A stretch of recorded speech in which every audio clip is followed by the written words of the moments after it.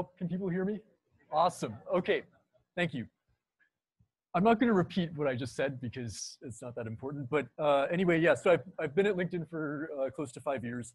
Um, I really like it there.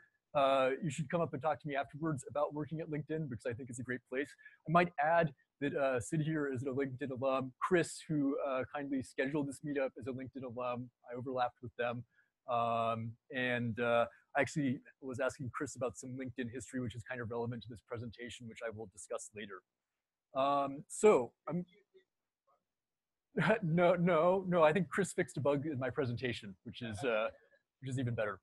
Um, so the title of this presentation is exploiting the data code duality with Dali, which sounds very metaphysical, but I'm going to try to make it more concrete uh, and explain the problems we're trying to solve. But first, I want to start with talking about Conway's law.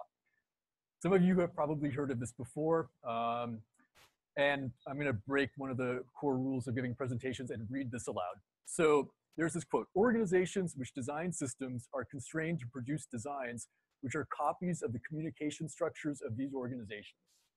So I think I first heard this back when I was in college, and there are a lot of different versions of this quote floating around, and I think the one that I heard is that uh, organizations which design systems uh, are sort of fated to design systems that basically mirror their org chart, which doesn't sounds even worse, right? And I was a young punk at the time, and I thought, oh, I mean, this is just you know all about the dysfunction of corporate America, and that's very dismal. Uh, but you know, that's that's not uh, an issue for me. Um, and then years later, I went and I actually found the source of the quote, which is a paper that was published in 1968, uh, written by this guy named Melvin Conway. Uh, it was published in a, a, journal called Datamation, which is you know one of those like 1960s era uh, names. Uh, and the paper, in many ways, is definitely a product of the times. Um, it starts with this great title, How Do Committees Invent? You know, of course, designed by committee is now a pejorative, but at the time, this was a very, uh, you know, unfunny question to ask. Um, Conway gives lots of hypothetical examples, which all center on uh, companies uh, trying to design large weapon systems uh, and the problems they encounter. Um, he talks about uh, interfaces, but he has to define that term uh, because it's not in you know common use at the time. Uh, and he uh, also comments on the recent appearance of companies that only write software uh, and you know what that means for the industry. It's a short paper; it's only four pages long. I'd really recommend digging it out. It's fun to read, if for no other fact than than you know just the things that I mentioned. But um, and I think also like sort of all great papers, many of the points that Conway makes you know, with with 50 years of history between now and then, they almost seem obvious to us, or at least some of them do. But I think at the time, this was really uh, sort of next level uh, thinking. So anyway, there's this quote. Uh, when I read the paper, though, I realized that there's a lot more to it than that. And in fact, the paper really isn't so much about the dysfunction of management structures as it is about the importance of communication uh, within organizations that are building things and how communication structures then are reflected in the systems that are built. So Conway makes this other interesting observation, which is that the structures of large systems tend to disintegrate during development qualitatively more so than with small systems. And I think the, the lesson you can draw from that is divide and conquer, right? Keep dividing things until you get to a point where they can be managed by a team, where the communication channels remain intact, uh, and the some of the parts will be better than the mess that's created by a bunch of people all yelling at each other uh, in a confused fashion. But then there are a couple of corollaries. So one is a design effort should be organized according to the need for communication. And he follows that by saying, because the design, which occurs first, is almost never the best possible, the prevailing system concept may need to change. Therefore, flexibility of organization is important to effective design. So recently, I think it's become pretty trendy uh, in uh, books and blog posts about microservices to reference this paper uh, and say, well, you know, Conway basically was predicting uh, the need for microservices.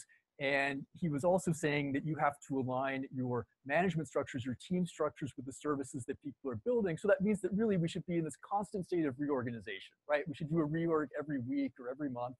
Uh, and we have to, you know, be flexible uh, and focus on the software and craftsmanship and not worry too much about the fact that we no longer have the same boss uh, from week to week or the same teammates. Um, that's one way to look at it, but I actually in a way, don't think that's what Conway was saying. There's this other part of the paper, which to me is the really important part. So Conway makes this prediction in the conclusion where he says that it becomes necessary to restrict communication so that people can get work done. And earlier in the paper, he notes that uh, if you have a graph of nodes where nodes are, of course, people, uh, and you look at all of the edges, it's, it's proportional to basically n squared over two, right? So that's a lot of chattering happening between people. So we have these structures that emerge where you try to uh, limit communication or let's say consolidate communication so that people aren't constantly jabbering at each other.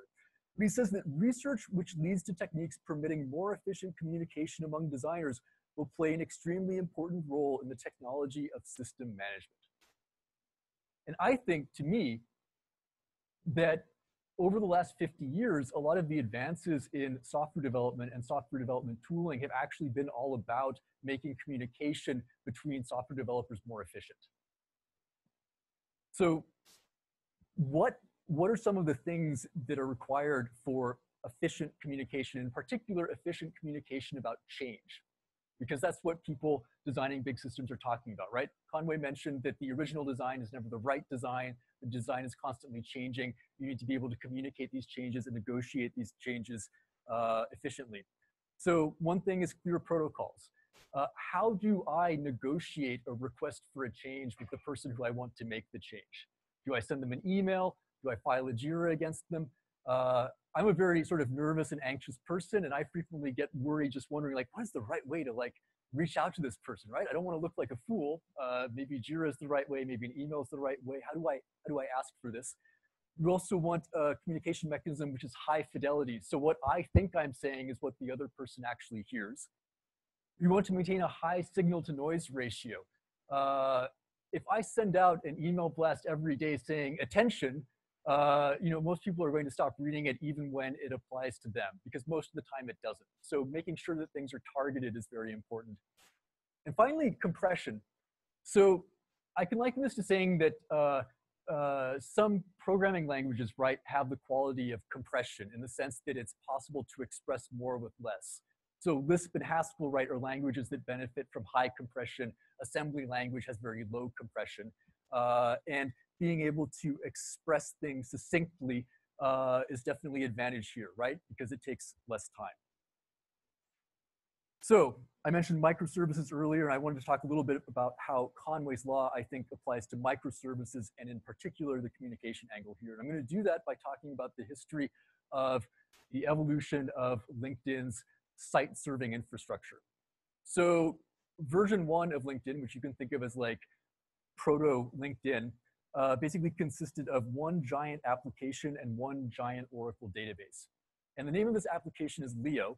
Uh, I was going to say that that stands for LinkedIn Engineering Organization because the entire organization was working on this thing. But uh, Chris just informed me that actually Leo is the name of the developer who originally developed this, uh, which is, I think, a lesson why you shouldn't name software after yourself because the rallying cry quickly became kill Leo uh, at LinkedIn. So version two, uh, in order to cope with uh, scaling demands, uh, some other services were created. There was a cache basically for the member graph. Uh, you couldn't keep hitting the main database, so there was a change data capture mechanism, sort of a prototype of Databus, which relayed to replica DBs. And you know the situation just became worse. Leo kept growing. The, the sort of like services running in this one giant code base kept increasing. Um, it was one giant repo. The build broke every day.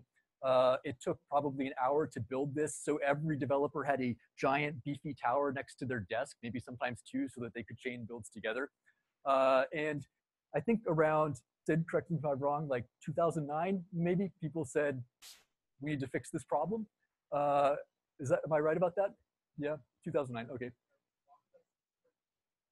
Yeah, six, and that's in 2009, right? So uh, these were these were pretty cool. And they still have them, even though I don't think people really need them. So I have two of them right now, which I mine Bitcoin on. Uh, so anyway, here's the site architecture today. So it is a microservice architecture. There's a front end tier, a mid tier, and a back end tier.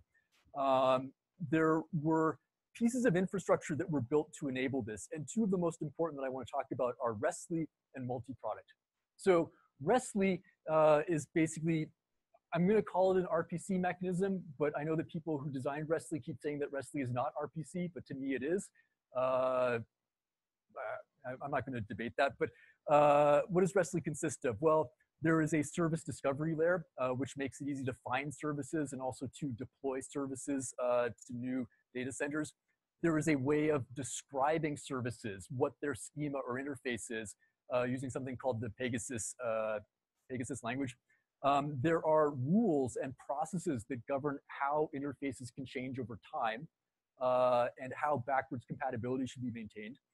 Uh, and there's also an interesting feature called Deco, which allows you to sort of generate synthetic services uh, built on top of other services and define them in a very lightweight manner. So you could think of it as like service fusion or data fusion. And all of this rests on top of multi-product, which is this really great uh, tooling and software development infrastructure that our tools team built. Um, so they've created nice integration between many open source components, things like Review Board and Git, uh, and the um, integration and testing layers. Uh, there's also really nice dependency tracking. So it's not possible just to declare a dependency, but there's also a database of dependencies. You can ask questions like, who depends on me? Uh, and you can ask questions like, uh, who do I depend on and what are all the transitive dependencies that flow out of it? And this is great for impact analysis because who depends on me is also sort of a way of saying, who am I going to break uh, when I make this change? And it's also a way of asking uh, who broke me uh, when something bad happens. Um, and finally, there's a lot of nice uh, deployment tooling, which makes it very easy to take a change, uh, pass it through integration testing, and then finally click a button and have it deployed to the data centers. So way down at the right-hand corner of this diagram, you see Kafka and you see Hadoop.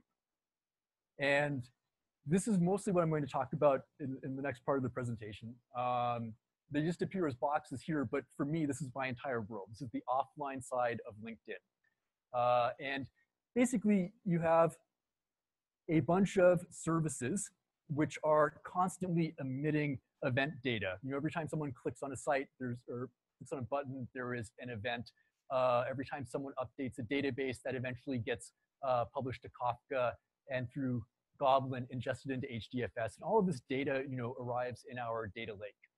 Um, and that, uh, you know, causes problems because while there is all of this great tooling and process uh, and mechanisms for communicating about change on the online side, none of this existed uh, on the offline side. The offline side was a completely separate world.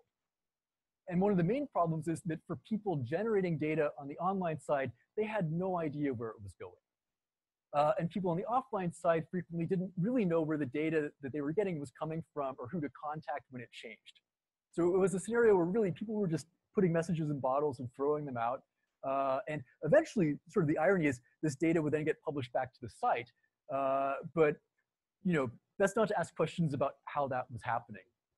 So, you know, it was a sort of fact of life that things were constantly breaking and people were spending more and more and more time every day uh, responding to these issues. Um, it was pretty common to have fire drills on the weekend.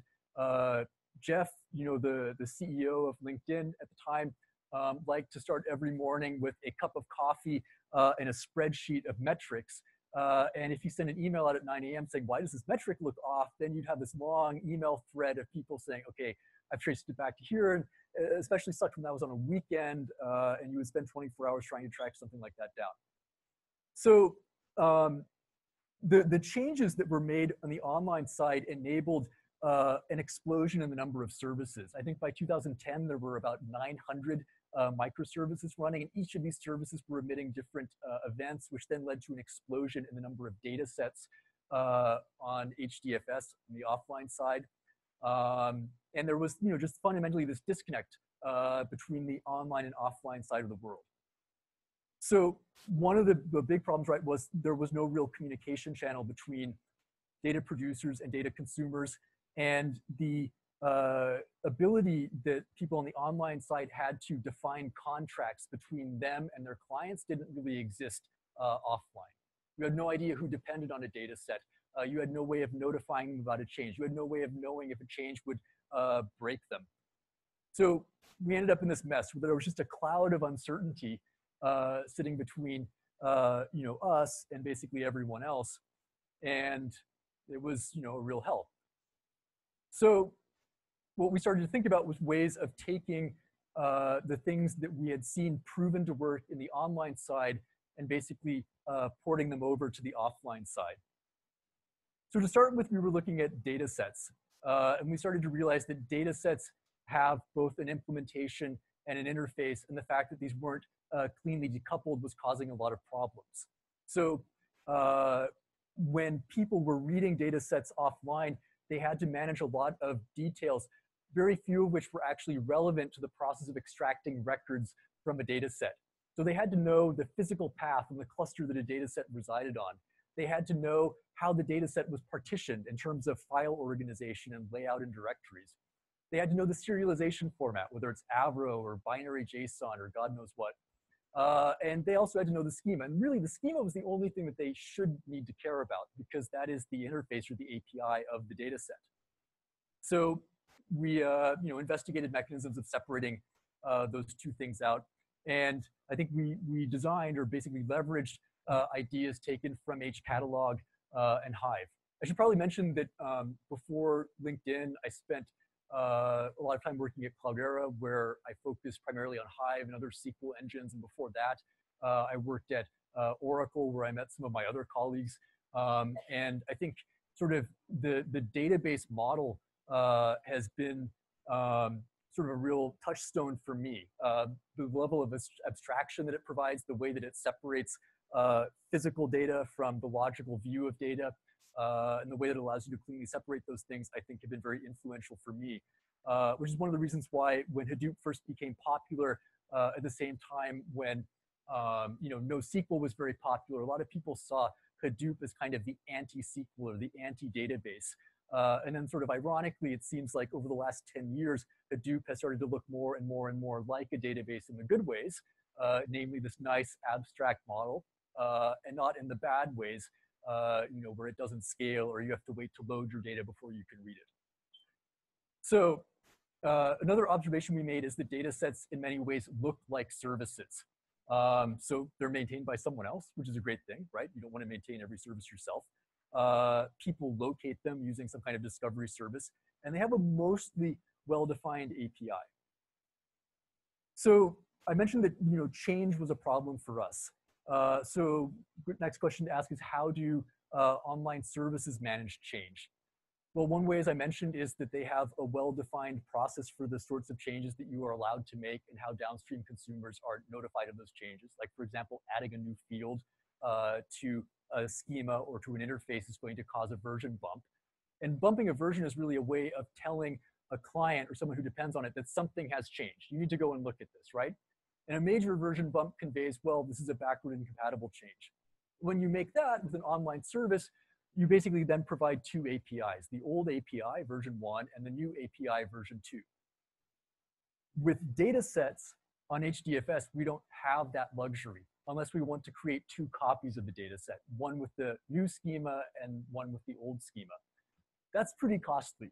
Uh, and since we often run at like 80 or 90% of capacity, I'm not even sure that we could do that. We would have enough space for it.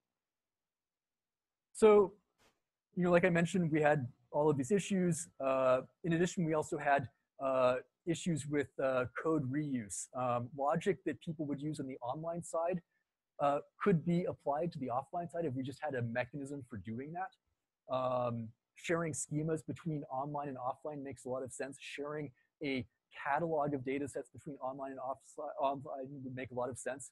Um, so the, the, the notion then of viewing data sets as microservices emerged. And the next step then was to think, well, how can we actually sort of insert a function between the data set and the client? So if you're familiar with SQL, if you're familiar with databases, you've probably heard of views before. And a view is basically a function defined in terms of a SQL query, which generates something that looks like a table. And that's you know, precisely what we needed here. The only question was, how do you support views uh, when you have sort of a polyglot environment where people are running Pig and Hive and scalding and cascading and who knows what else. I think you know LinkedIn has always been very uh, open about people arriving and evangelizing a new tool, uh, and that's both good and bad. I mean, it's good in the sense that people get to use new things and benefit from new things. It's bad in the sense that uh, there's a lot of heterogeneity. So uh, we started by basically saying that let's create a table abstraction on top of uh, files on HDFS. Let's hide the physical details like format uh, and partitioning scheme, and we can use the metastore that Hive provides to do that. Um, I often like to say that, you know, I think the, the most important part of Hive is not the SQL engine, it's really the metastore. Uh, and if you're familiar with like the Hadoop ecosystem, the metastore has really become the de facto uh, metadata service uh, for Hadoop.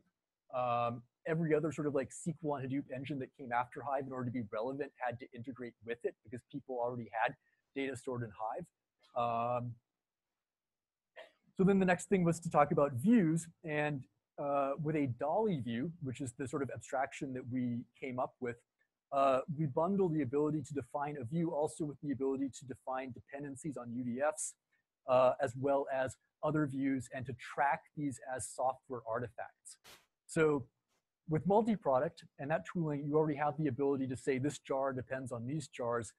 With Dali views, we have the ability to say this function or this view depends on these other functions or views. Uh, it depends on these UDFs, uh, and it also depends on these schemas. So that makes then impact analysis very easy, or it makes it possible at least, uh, where you can try to figure out you know, what the implication of making a change will be. So this gives you an example uh, or a, sort of a taste for what uh, Dali views look like.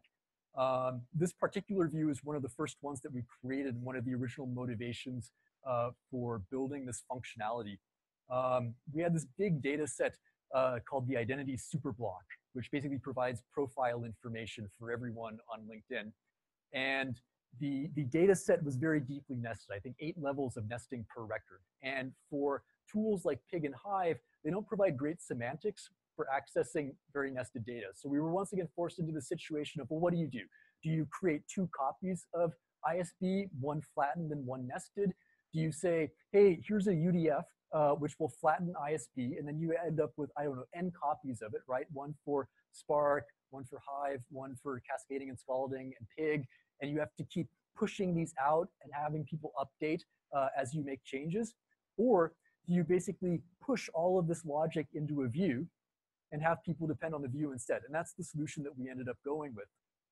And I think the another sort of important thing to recognize about views are that views um, enable code sharing in a centralized fashion. So there's only one source of truth for what the definition of that view is at any given point in time. If you want to basically push out a new version, you can do that and everyone is affected. You don't have to worry about uh, people who are slow to upgrade or things like that. So everyone gets a consistent view of the view. So how did we do this? Um, so we basically hacked Hive. We uh, created uh, reader libraries, one for Pig, one for Spark, one for uh, Scalding and Cascading, which embed uh, the Hive execution engine inside of the client reader. And because we did it this way, views also have some limitations. So we don't allow aggregations, we don't allow joins, uh, because those trigger reduce operation. So this is a purely map side operation. Um, and while that seems like you know, a pretty significant uh, limitation. I think one of the things that surprised me or consistently surprised me has been how useful views turn out to be even with these limitations. You can still do filtering, you can still do unions, uh, you can still do uh, record by record transformations, and you can even do joins as long as you basically do it in a map side fashion. So this particular example shows uh, the uh, reader being used to uh, read a view which unions together uh, two different tables, in effect creating a synthetic table. So after we, you know, sort of satisfied this initial use case of ISB, we started to realize that views, even if they only, you know, can do map-side operations, are useful for a lot of other things as well. I wanted to quickly run through some of those. So, like I mentioned, you can flatten or nest uh, data. You can demultiplex uh, data sets which have been effectively materialized as unions uh, into uh, separate virtual tables. Uh, you can also go in the reverse direction where you create a synthetic union out of multiple things that have been materialized individually. Um, at LinkedIn, right now, we have this one giant data set called um, page view events, which basically tracks every time someone views a page. The thing is, though, it's an effective materialized union of like a thousand different uh, event types. And if you look at the queries that people run against it, every single query is basically select from page view events where event type equals whatever. So there are a lot of full table scans, which are completely unnecessary. And if this was represented instead as a union, uh, we would be able to optimize uh, that away completely. And then I think the, the most important point for me is that uh, views allow us to basically manage making backward incompatible changes, which up to this point had not really been possible. Simply because to make a backward compatible change or a backward incompatible change, you had to create and manage two copies of data. You had no real way of tracking uh, the progress of people migrating from the old version to the new version, so you never really knew when it was complete. Um, you had uh, no real communication mechanism for coaxing people off of one to the other. Um, but with views, we're able to basically uh, create a view on top of the old data set with the new schema, give people a chance to migrate to that, and then deprecate the old one.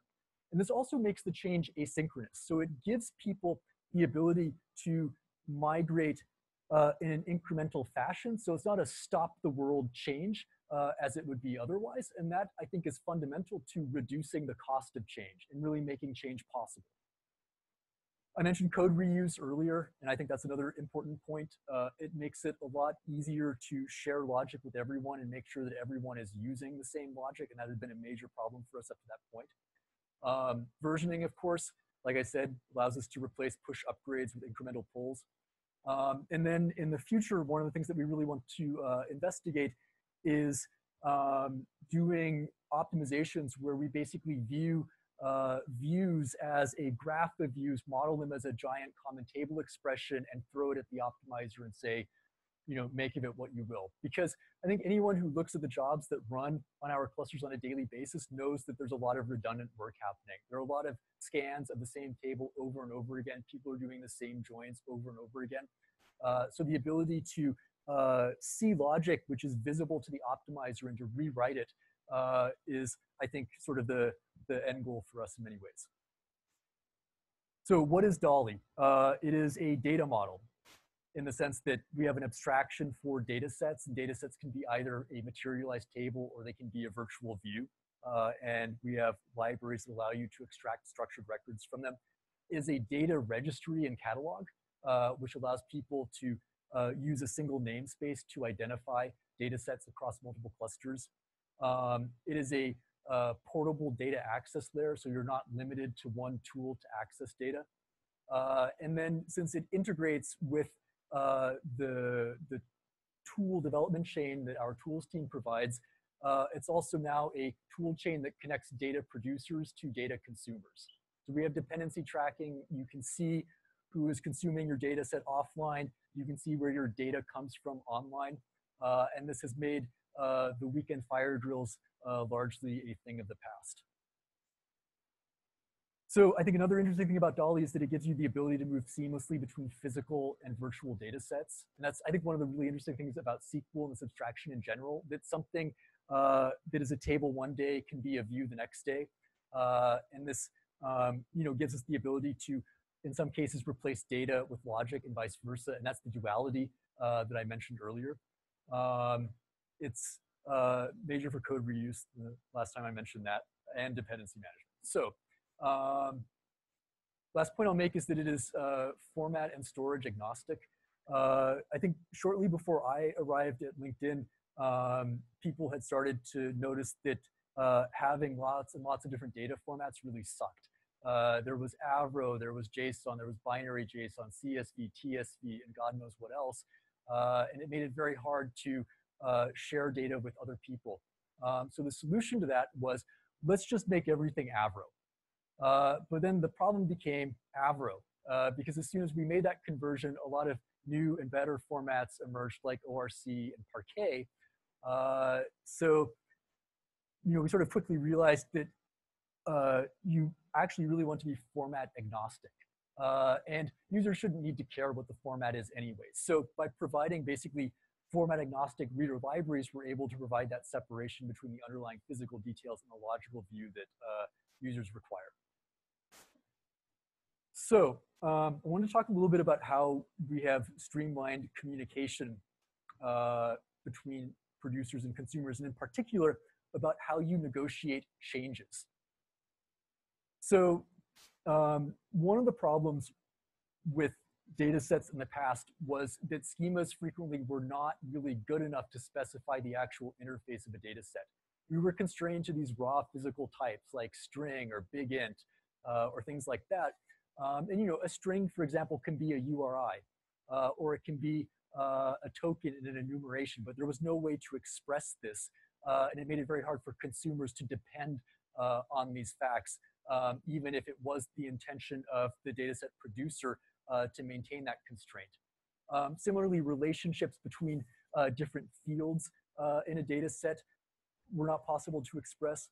Um, there were multiple cases where uh, data sets uh, would have uh, a time field, let's say in milliseconds, and another time field that had been added later in seconds. people would get confused about which was which, and that would then cause metrics to, to skew one day. Um, so we really wanted a, a more refined mechanism, a more explicit mechanism for specifying what these contracts are. And I think you know we can sort of learn a lot from from law and lawyers uh, in terms of what makes a contract good. Like a good contract is easy to find. Uh, it's easy to understand both for the people writing it as well as for the people uh, agreeing to it, and it's easy to change. And uh, you know, complicated contracts, vague contracts, hard to understand contracts are good for lawyers. They're generally not good uh, for you and me or for organizations that depend on them. So um, we wanted to uh, introduce, you know, this better contract negotiation mechanism, but that also involved then introducing a new process. And I think we're all familiar as engineers, software engineers with bike shedding. You know, you propose a design, uh, and people come, they say, well, you know, you could change it a little bit. Here's a suggestion. It just goes on endlessly. Uh, I can tell you that proposing a process is 10 or 100 times worse. Because the first thing people hit you with is, I don't think we even need this process. Things are good the way they are. You're a petty bureaucrat. Go away. Uh, and I think I think it's understandable in the sense that, that humans um, are very good at feeling immediate pain but they're very bad at connecting their actions with pain uh, that they experience 10 days later. And even more to the point, um, if I do something that causes you pain, but it makes life easier for me, and I don't know you, uh, chances are I'm going to go ahead and happily do that, right? So, so you know, it's, it's sort of understandable why asking people to sort of pay a tax up front so that they get, let's say, better things uh, down the road and life is better for everyone, why that's a hard sell. But if you can basically identify a process that the company has already agreed to and say, well, hey, we're just introducing this process, but in this new context, then that's a lot easier. So that's basically what we did uh, with Dali and with um, offline data management. So um, contract negotiation already existed in the form of review board. You know, I have a change, I want to change your API, I'm going to submit a patch, you, the owner of the code, can either approve or deny it. Uh, if it's approved, then that becomes part of the contract going forward. So by managing the definition of views in Git, uh, we both benefited from um, the sort of software deployment tool chain, but we also benefited from this established process, right? That craftsmanship matters, that there's a way of requesting changes, there's a way to agree to changes. Um, and uh, another benefit of this is that the contract, the way that we uh, give people the ability to specify the contract is also leveraged in the form of data quality tests. So these are basically logical rules, you know, governing uh, what is allowed for a specific column in a table or a relationship uh, between two columns in a table or maybe a relationship between rows. Uh, and by expressing these as basically SQL fragments, we're able to then, as data is ingested, use these to validate the data. We're also uh, in the process of basically taking these rules and pushing them up the pipeline so that we can uh, catch bad data as soon as it arrives. And I think you know that's one of the the sort of issues with this infrastructure compared to let's say a traditional database where you catch data quality issues on load, right? You can't load it into a table uh, if it doesn't satisfy the schema, but with uh, HDFS and Kafka for that matter is still very much a schema on read system. So you don't have confidence that uh, the data actually conforms to the schema that you're using to read it otherwise. So this gives you an example of the, um, the uh, deployment uh, process, the, the authoring, uh, reviewing, and uh, deployment process. Uh, we have a Gradle plugin, which allows someone to define their view in their Git repository and then also compile it locally against the data sets that are defined in the Metastore, make sure that it compiles, and extract a couple of rows from it. Um, we leverage the MP tooling then to basically test the view and then deploy it to Artifactory where it's managed as an artifact. Uh, and then we have um, some deployment tooling built on top of the tooling that multi-product gives us to then deploy it to the Metastore catalog. So, you know, we intentionally made this look as much like developing what people think of as software as possible. Um, you know, both in order to leverage the process, but also I think to make this um, more familiar to people on the online side who are already developing software and using this tooling. So we started with a mess. We ended up with this beautiful uh, system where the cloud uh, was blown away and where the connections binding people together, you know, in harmony are now visible uh, and everything is good. But uh, the next step one then was to sort of think about, uh, well, you know, we've, we had this nice abstraction for data sets. Uh, we have this ability now to easily evolve data sets. Uh, wouldn't it be cool if you could define a view but actually evaluate it in other contexts? Uh, we know that uh, all of the data in HDFS at some point starts in Kafka. Uh, in many cases, there's a one-to-one -one mapping between the data set in HDFS and Kafka tracking topic wouldn't it be nice if we could create what is in effect a synthetic data set, a virtual data set defined as a view, and actually uh, use it on top of Kafka? Uh, and you know that I think uh, makes a lot of sense, especially when you uh, start to think about, well, wouldn't it be nice to have a single name for a data set, but be able to consume it in any one of a variety of contexts, both nearline, offline, and potentially offline. So we started to work on uh, Dali streaming. Um, and the end result was basically the ability to author one of these synthetic data sets, uh, give your clients the ability to access it both uh, nearline and offline, uh, and the ability to leverage a unified catalog uh, spanning these two spheres. And once again, people benefit from the same tooling. So the process then of developing and deploying a view is exactly the same.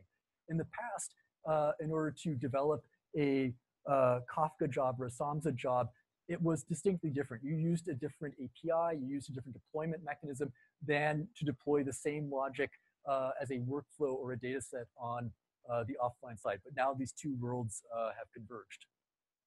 Oops. And this gives uh, an example of uh, how we built it. Um, we basically uh, created a Dali system consumer for Samza. It looks very much like the reader APIs that we've built for these other layers.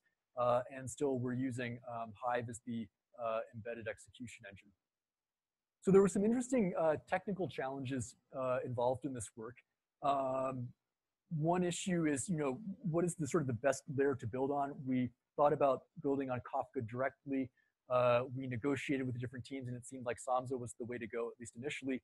Um, long term, we plan to uh, support both Kafka and Samza. There are also some interesting issues with uh, accessing HDFS files from uh, Samza. So uh, I mentioned earlier that it's possible to do joins in views as long as they are map side joins. Uh, and typically people uh, do that using a UDF. So they basically, uh, uh, you know, reference a UDF as one of the columns in their view, and that UDF is actually referencing a side data set and doing the join for them in memory.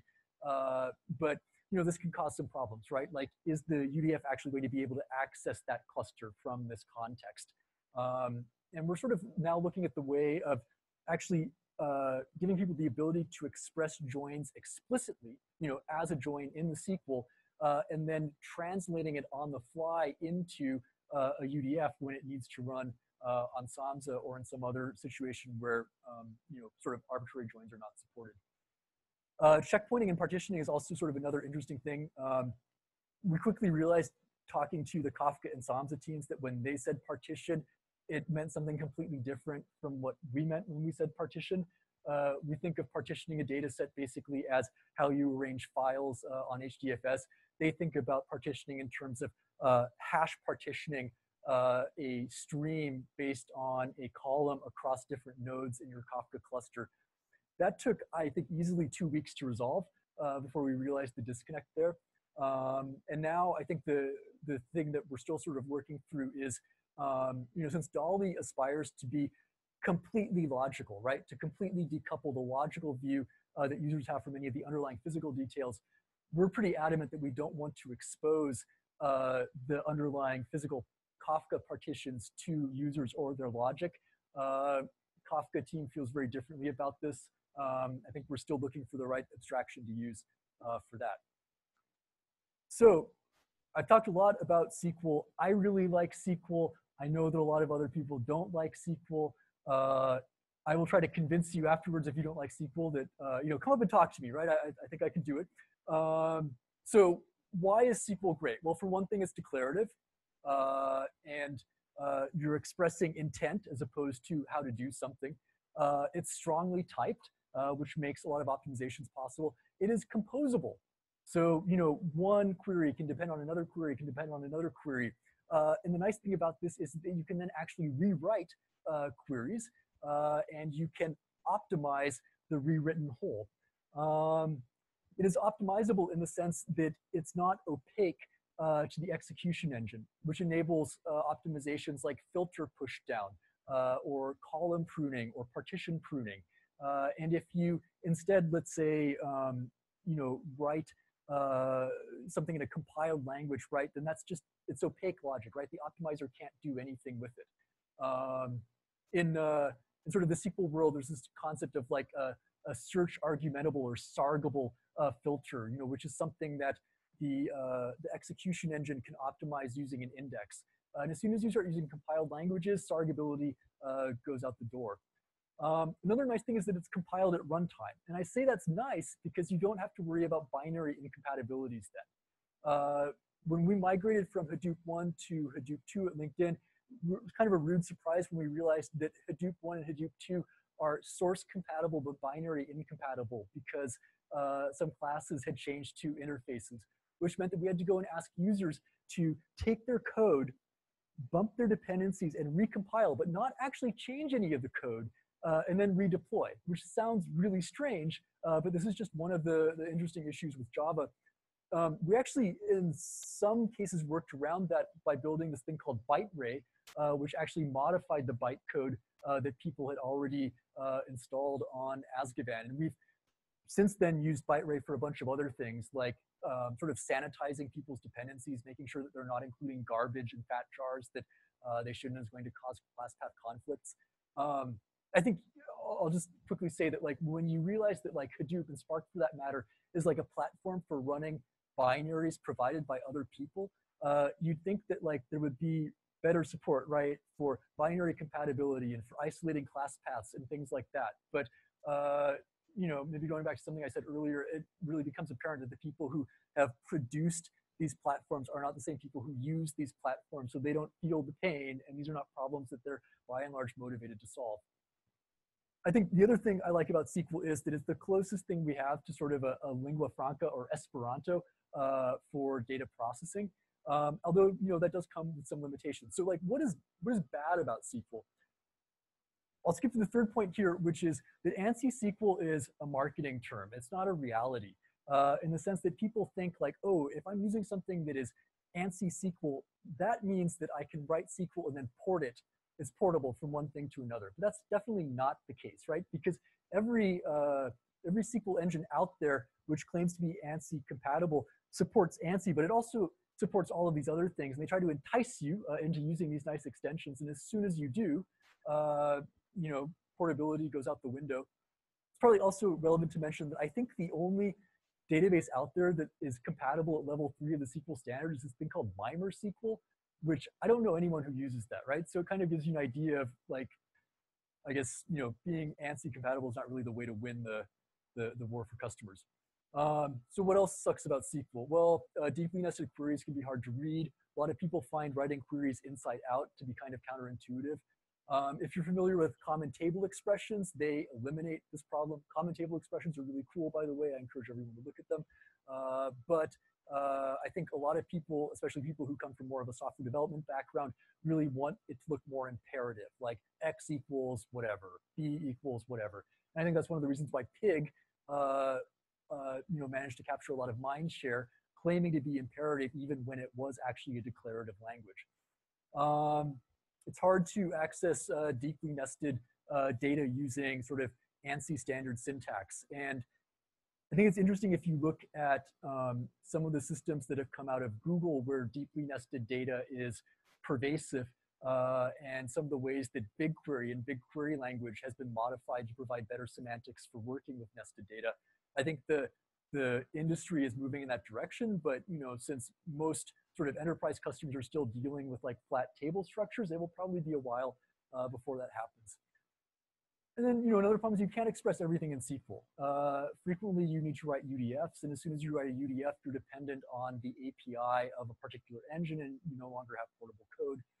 Uh, and then finally, I think like uh, a lot of software engineers I've noticed just have this knee-jerk reaction to SQL. Like that's something that DBAs do. That's not what I do. I'm not going to learn that. Um, might also add that I think a lot of people, their first taste of SQL is SQL for OLTP, like row level inserts, updates, and deletes, which I think is a lot harder to learn than the SQL which is used uh, on Hadoop, which is more of OLAP SQL, where you're streaming uh, data out of one table through a set of transformations and joins into another table. When you start to think about it that way, uh, I, I think it's, it's a lot easier to learn.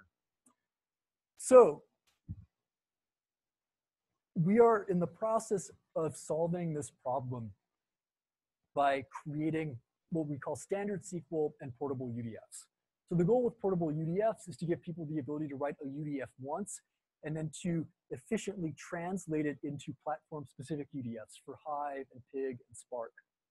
And the goal of standard SQL is to provide both a standard SQL dialect, which we can then compile down to a variety of other target languages, but also to be able to take existing languages like HiveQL or Pig uh, or Spark or Presto and compile those down uh, to a variety of target languages. And we're building this uh, in large part on top of Apache Calcite. If you're not familiar with Calcite, you really have to go and look at this. Uh, it's basically a toolkit for relational algebra. Uh, it's also a toolkit for building databases. Uh, Julian Hyde, the guy who started the project, um, is like a, a database old timer. I think he was on his like fourth optimizer uh, when he realized like, man, I've been basically writing the same thing over and over again. It would be really cool to sort of take what I've learned over the past 20 years uh, and create a toolkit so that people don't have to, you know, make the same mistakes that I did. Um, there are a lot of other projects that are using Calcite. Uh, I think there are a lot of startups uh, that are going to be based on Calcite. Uh, in my opinion, it's like the single most important uh, Apache project in existence right now. So, um, like I said, take a look at it. So really the, the direction that we're going in with this is to try to decouple these three things that have been tightly coupled up to this point. So I think in some ways the, the popularity of Hadoop can be explained by the fact that it decoupled storage from the processing engine. In the past, right, your database was tied to storage. Uh, if you loaded data into Oracle, you could only read the data with Oracle. Uh, but with the Hadoop model, you just land the data uh, in HDFS, and you can use a variety of tools uh, to analyze and interpret it. Um, the remaining problem, though, is the logic that you write is still tied to a particular uh, engine. Uh, and, you know, engines come and go, right? Like Pig was really popular, now it's not popular. Hive was pretty popular, now it's not that popular anymore, or at least, you know, not at LinkedIn. So there's always going to be like a new thing, or at least that's been the trend so far. Uh, only a fool would say like, this is, you know, going to be the thing that we're going to use, you know, forevermore. As soon as you finish migrating into something, usually like the new thing has appeared and people are already talking about how to get off of it. Uh, and the larger your organization grows, the more logic that people write, the more expensive those migrations are. So we think it makes sense to invest in actually uh, coming up with ways to decouple uh, the logic from the processing engine and to make things far more portable. I want to leave you with this, this one parting thought. This is something I've been iterating on recently. I wanted to try it out and see what you guys think of it. So um, we have a lot of workflow engines uh, for managing data workflows. There are things like Azkaban or Oozie or Airflow or Luigi. I, the list is, I think, twice as long as this. Uh, and you know, fundamentally, these are all engines that allow you to chain uh, DAGs of jobs together. And the interesting thing about this is that these jobs all consume data and they all produce data. So in a way, these workflows are actually views. And if views are virtual data sets, then it stands to reason that we're making this way more complicated than it needs to be because now we have a namespace of jobs and we have a namespace of data sets. And what we're really interested in is the data, but we frequently have to map that to the name of a, a job in order to figure out you know, who is producing the data. Wouldn't it be simpler to just have one namespace of data sets where every data set is basically a view? Every data set name is connected to the recipe used to create it. And you understand the dependencies. And then when you start thinking about things as a DAG of views, it makes it a lot easier to then think about it, oh, this is just one giant common table expression. Let's just compile this whole thing down, throw it at the optimizer, uh, and let the optimizer make sense of it. So that's, that's my dream. You know, we'll see if we get there. Uh, conclusion, Dali is great. It's made life easier for us. Everyone should check it out. Uh, we hope to open source it soon. I've been saying that for a long time, but you know, we're really close. Uh, so please hang in there. Uh, here's my email address if you want to, you know, uh, send me an email, you know, about whether you like this talk or if you have any questions. Um, we recently published uh, a blog post about Dali that I wrote with uh, uh, sitting over there. He's the manager of the Dali and Gobblin teams at LinkedIn. A very diverse and eclectic guy. Uh, he's fun to talk to. Recommend introducing yourself. Um, there's also a blog post uh, from, I think, five years ago about the service infrastructure at LinkedIn and these different versions of LinkedIn site-facing infrastructure. It's an interesting read, although it leaves out the detail that Leo was the name of the guy who wrote Leo, which I think should really be in there. So anyway, uh, questions? In the back, Chris. Hmm. You only get one question. Ooh.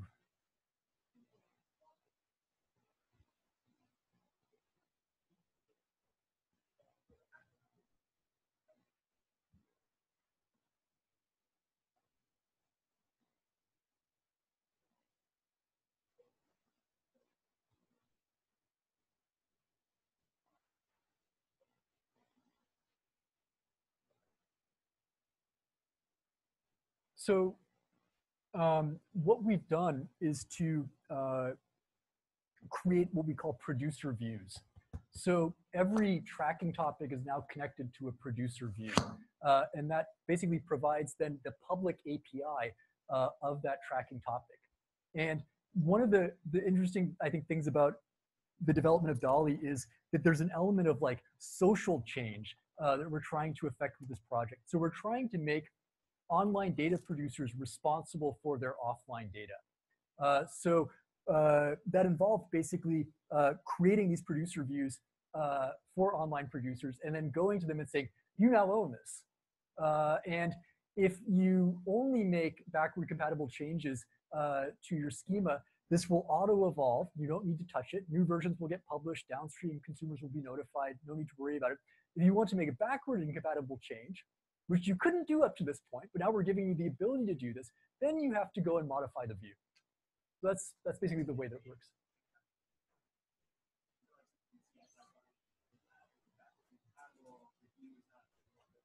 Yeah, so we have we have rules that basically detect uh, you know the, the set of acceptable changes that are backward compatible and those that aren't.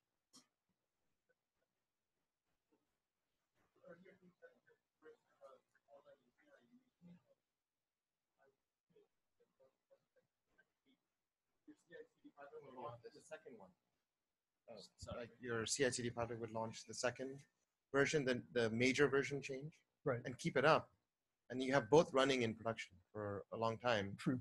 And then if you make another one, it's a third, and then at some point you have to manually kill the older ones. So right, right, right. So, um, so that's another aspect of the um, development tool chain that we leverage. So, uh, multi-product gives you the ability to one interesting thing is you can push an upgrade. So you can actually sort of force upgrade other people as long as their tests pass.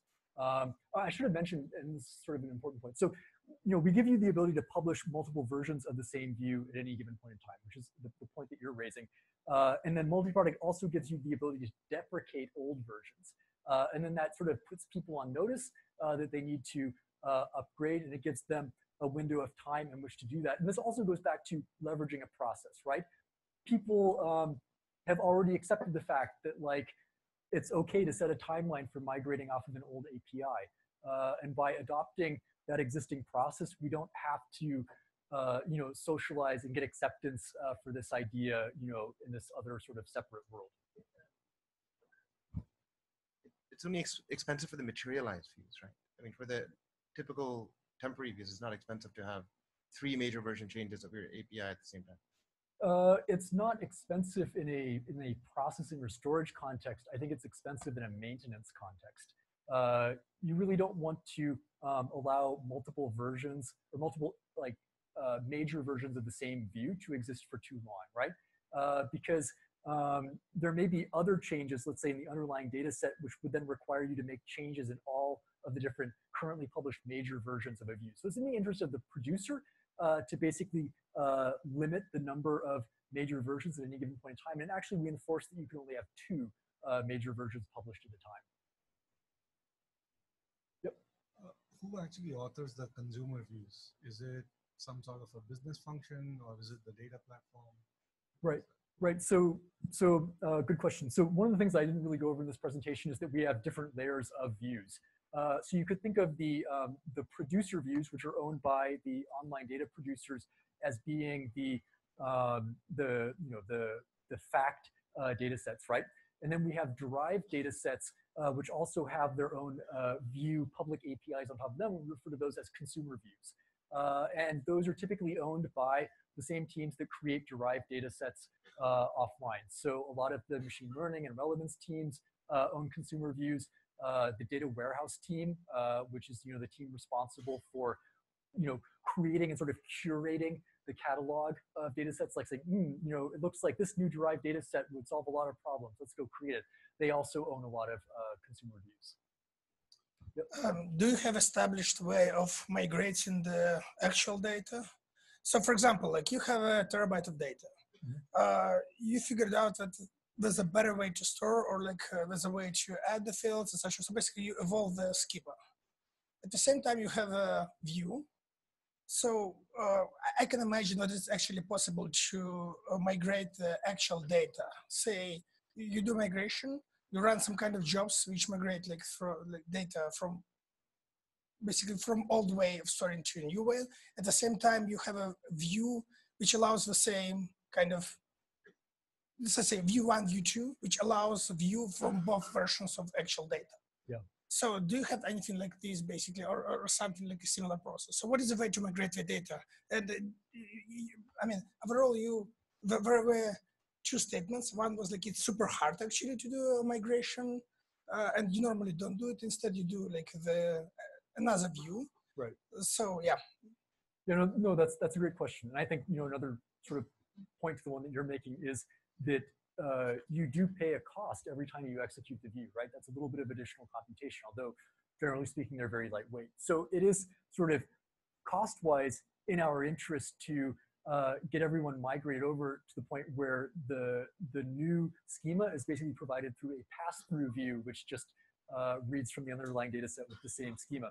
Um, so doing that uh, atomic switch is something that we are still working on. Uh, and I think one of the things that I wrestle with is that um, I like the idea that views once published are immutable, right? That version 1.1.1 is always going to be the same thing. Uh, and I worry a little bit about changing it suddenly uh, to be something else. Um, on the other hand, though, a lot of other people have, I think, managed to convince me that as long as it still satisfies the API, uh, the contract with the consumer, it shouldn't matter. So making these, these atomic changes uh, you know, would be, you know, in our interest. So that's one of the things that we're looking into.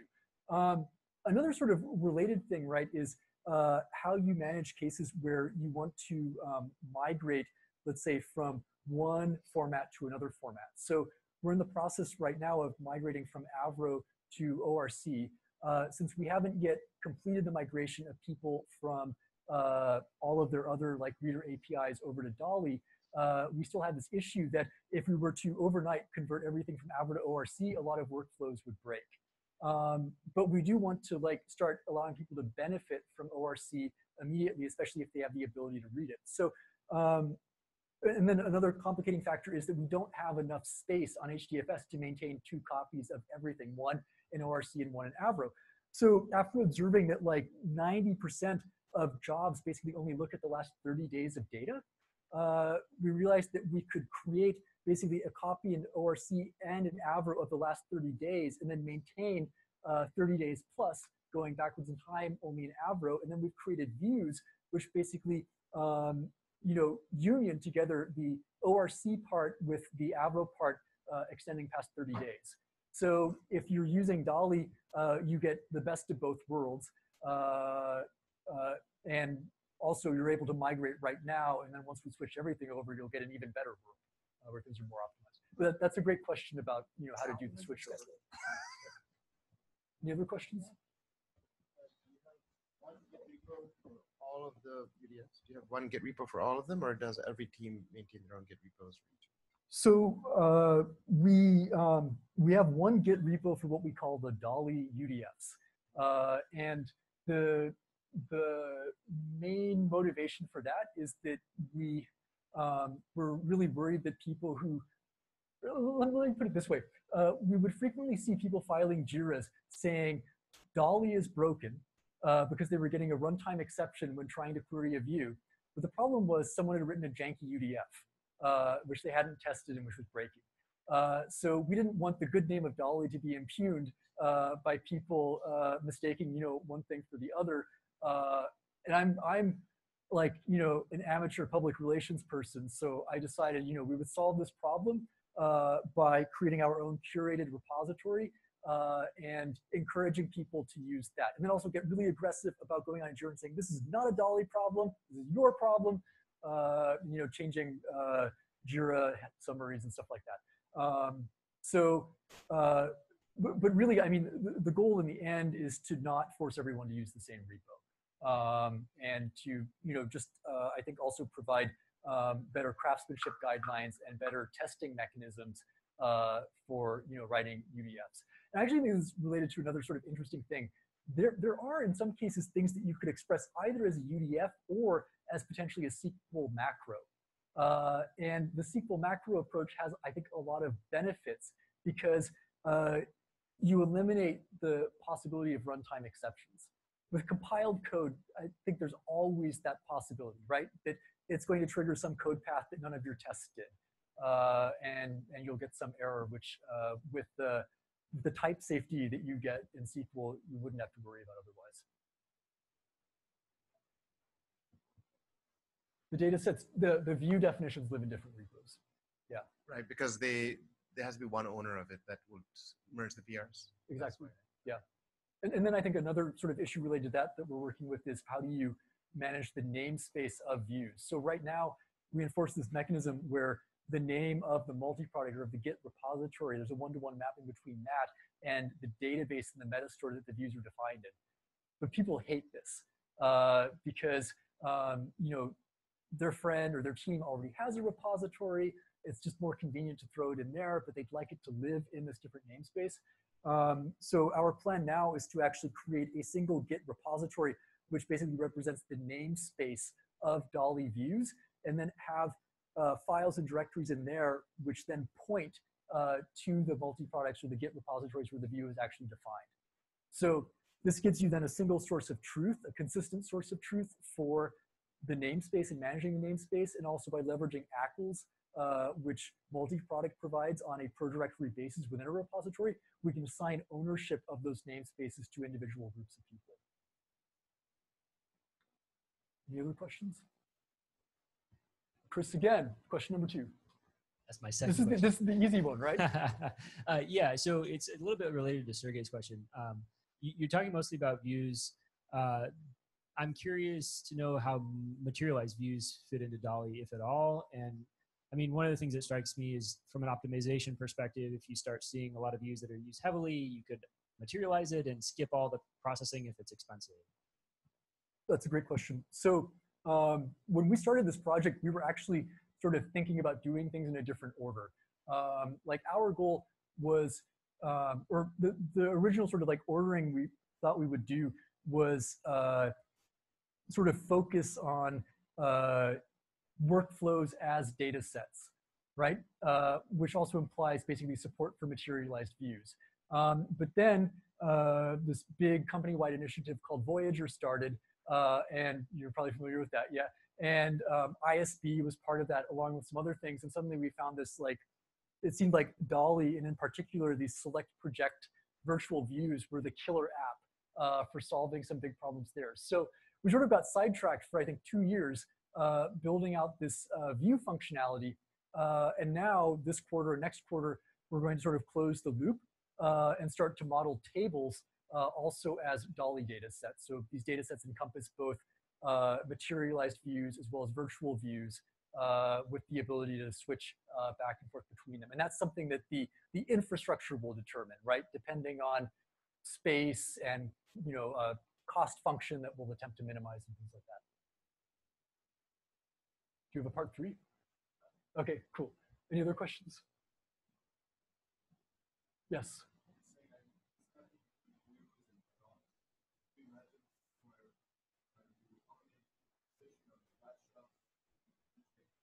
Yeah, definitely. Uh, and I, I, think that's, you know, that, that's my goal, right? Uh, I think right now there are a lot of um, pathologies that emerge because of the tools that we give people to schedule jobs. Like uh, uh in the absence of being able to specify data dependencies, uh, people specify job dependencies, right? So I want this job to start when this one finishes. Uh, and one thing that we frequently see is that people will create these DAGs where the job dependencies don't actually uh, reflect the actual data dependencies. And it will work 99% of the time because it turns out that this job always finishes before this job, except when it doesn't. And then suddenly the data that it expects to see is not there. Um, another thing is that uh, if you start to think about sort of data dependencies and uh, data scheduling like you're saying, um, you can then, I, I, think, start to realize that all you really care about is the leaf nodes uh, in your data set tree, right? And it makes then a lot more sense to say, uh, this is the deadline for when this leaf node needs to be ready. And based on historical information you've seen, like if you know that this thing basically always takes eight hours, you can then infer when you need to trigger it. And that should give you a lot more flexibility in terms of how you order jobs. Uh, and also potentially the ability to then leverage shared scans or shared joins or things like that. Um, so I think by you know moving to a more declarative model, uh, moving to one that is sort of more data oriented as opposed to job oriented, a lot of possibilities open up uh, and it becomes a lot easier to think about all of these things. So I, really think that like we've all been thinking about this the wrong way uh, for the past 10 years and that by sort of, you know, inverting the way we look at it, a lot of things are going to become a lot easier. Yep. Is there a way to uh, release, uh, let's say, alpha version of a view to downstream views. Let's say you want to change a small thing in one view and you want just a small percent of the downstream views to use that modified version for testing or whatever purpose. Can you do that in Dali or there's a way to add it? Good, good question. So you can't do that right now. Um, but I guess one thing that we're, we're working to add is the notion of um, view visibility. Uh, so people can specify that a view is private or protected uh, so basically, who should be allowed to depend on it? Uh, and that will allow people then to uh, compose views and have some views basically be part of the implementation, other views be more part of the public API. Um, we're also uh, thinking about um, deployment in the sense that a view would first get deployed to uh, a development cluster or to a like a, a SOAK cluster. Uh, and once we see um, you know certain metrics are hit, then it would get nominated uh, and deployed to the actual production cluster. Um, but I like to think personally that uh, a lot of the issues that you see uh, with, I think, more traditional workflows are not really as prevalent uh, with views. So I personally question like how much we need that. Uh, but I've been wrong a lot, so uh, you know we probably do, right? Better safe than sorry. Any other questions? Nope. Okay, cool. Thanks, everyone. Awesome.